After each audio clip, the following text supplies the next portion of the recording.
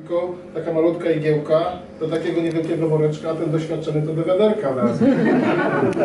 Przedsięwzięcia programowe kolejnych finałów Wielkiej Orkiestry Świątecznej Pomocy. Bo tak się składa, że to zawsze e, tymi flagowymi są honorowi krwiodawcy, tak?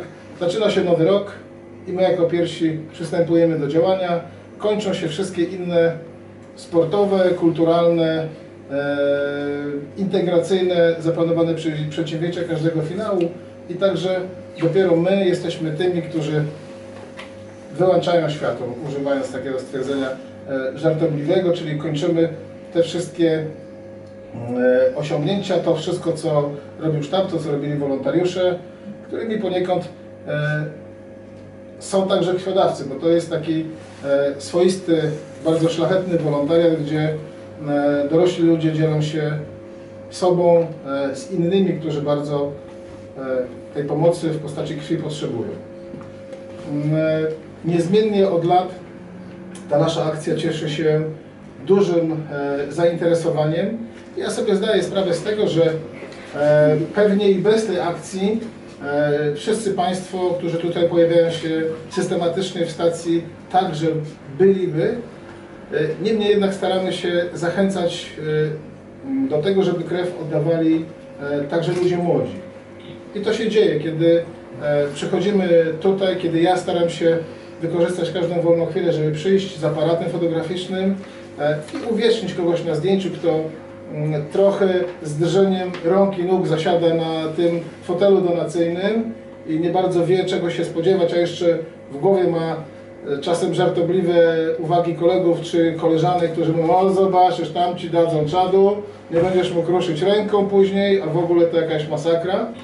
A potem się okazuje, że e, w tej niezwykle sympatycznej atmosferze, jaka tutaj zawsze jest, podkreślam to, ten akcent na słowo zawsze, e, okazuje się, że nie taki diabeł straszny, że to ukłucie igłą niespecjalnie jakoś tam boli, a potem ta satysfakcja, którą się odczuwa e, po oddaniu krwi, po tym jak człowiek schodzi i w książeczce krwiodawcy pojawiają się kolejne wpisy, no jest, jest niesamowita. To trudno e, z czymś to, z czymkolwiek to porównać, a z drugiej strony m, w sytuacji takiej, kiedy przychodzą tutaj młodzi dawcy no, i mierzą się z ankietą, gdzie trzeba wszystko tam zgodnie z prawdą wypisać i potem spotykają się jeszcze z panią doktor, no i niestety bywa tak, że okazuje się, że z tym zdrowiem coś się dzieje, co uniemożliwia oddać krew, e, to mimo tego smutku, bo to jest taki, taki bardzo pozytywny, bardzo budujący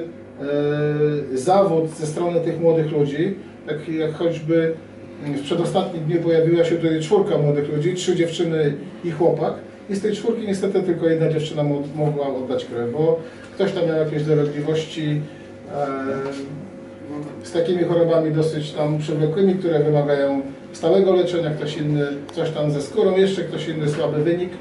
E, I okazuje się, że tej krwi nie można oddać, a, a, a, a młoda dziewczyna mówi, siedzi sobie, a taki miał być piękny dzień.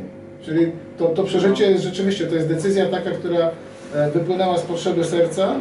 E, No i ten zawód jest taki trochę dolegliwy, że no nie udało się mimo wszystko.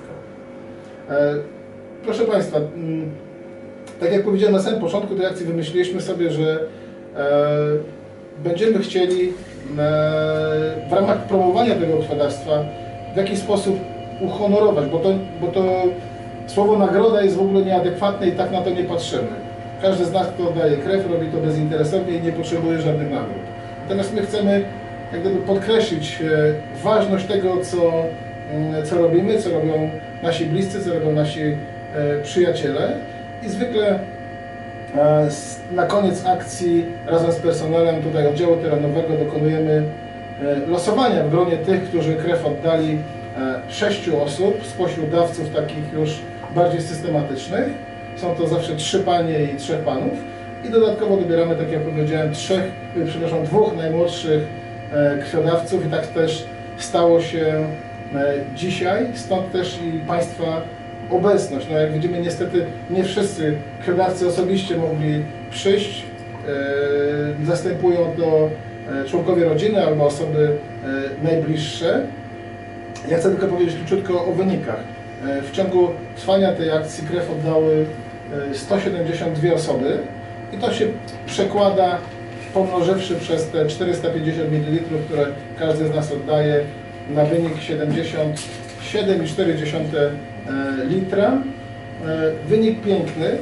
Co prawda troszkę chyba niżej, jak pamiętam, wobec tego, co e, było w ubiegłym roku, no ale tak naprawdę my nie zakładamy sobie, że będziemy co roku bili jakiekolwiek rekordy, bo wiadomo, że oddawanie krwi różni się mimo wszystko troszeczkę od wrzucenia jakiegoś datku do skarbonki. Tak? To są względy zdrowotne, to są możliwości związane e, z pracą, która też dla nas wszystkich jest bardzo, bardzo ważna. I teraz z przyjemnością chciałbym upublicznić e, to, że mm, w tym szlachetnym gronie spośród pań e, znalazły się pani Donota Niezgoda, pani Ewelina Wasilewska i pani Olga Bagrowska. Spośród panów pan Paweł Muras, Jakub Aleksandrowicz i pan Jakub Rasiński. A w gronie tych najmłodszych dawców znalazła się pani Małgorzata Styperek i pan Rafał Tarwacki. Gramy tak naprawdę też w Świnoujściu. Jest to niezwykłe miasto. Miasto, w którym dobroć i zrozumienie potrzeby pomocy innym wyraża się w tym, co razem robimy. Tak jak mówił tutaj druh Marek, gramy od początku i gramy aż do końca i jesteśmy jednym z nielicznych miast, w, których, w którym odbywa się to dawanie, oddawanie krwi. To jest jeden z elementów. Równocześnie chcę powiedzieć, że zbieramy nakrętki dla dwóch naszych młodych, małych chłopców, którym po prostu potrzeba na rehabilitację.